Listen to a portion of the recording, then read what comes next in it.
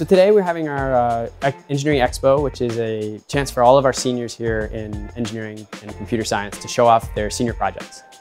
Students are working with industry partners or community members. We've found that we really want to have this diversity of projects so that students get to experience all the different kinds of things that engineers can do out in the world. So the whole goal of the solar panel charging stations for the electric scooters is to decrease the clutter that is around San Diego. You can't go a day around San Diego without running into one of these things on the sidewalk. Um, so our goal is to do that in a green, sustainable way. And this is an entrepreneurship project and so um, my co-worker Sabrina and I were really working hard to create this as a business. Um, so discrete solar technologies could be a thing in a couple years. Our project is focused on developing a water filtration system for use in rural communities in Uganda.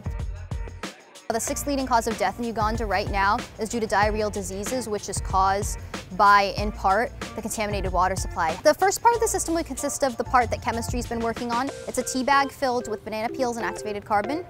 Um, to help filter out heavy metals, but the part that the mechanical engineering side has been working on consists right now of a syringe-like technology we place a cross-section of the banana tree trunk in a syringe and force water through it, filtering the water through the inside of the banana tree and into a bucket beneath, which will be our reservoir of clean water.